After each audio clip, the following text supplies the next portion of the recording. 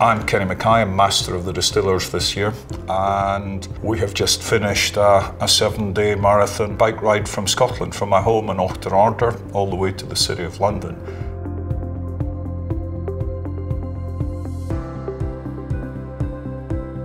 Today is City Giving Day when it's really a, a, great moment for the city to show its philanthropic side. The sun has shone and hopefully we've raised lots of money not only for the Lord Mayor's appeal but for many of the other charities that the corporates have aligned themselves to. It's been a bit of a dream of mine to, to do this and uh, philanthropy is very much at the top of my objective for the Masters year and I was uh, really keen to do something different. Well, Future Youth Zone are one of my favourite charities. They do a fantastic job with young people, providing positive role models.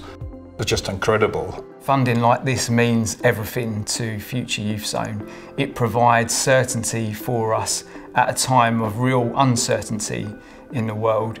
And I think this particular funding is so significant because it shows young people that the adults, the wider community are prepared to go the extra mile for young people, or in this case, the extra 500 miles for young people, which is really inspirational for myself, but also for the young people who come and use the building as well. Pilgrim God, we come to you as we celebrate the end of our journey in thanksgiving and in honesty. Our legs are sore, our faces wind blown, our seats are numb, but our hearts are full. We thank you for the completion of our journey. We have followed the road ahead. We have ridden the highways and byways. We have finished the task that was set before us. We give thanks for safety in our travels. We give thanks for unity in our purpose.